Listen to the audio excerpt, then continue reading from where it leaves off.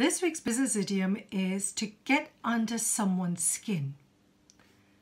I don't know what it is about Stephen, but he really gets under my skin. I don't know whether it's his voice or the way he talks over you without listening. All I know is he really annoys me. That's this week's business idiom to get under someone's skin.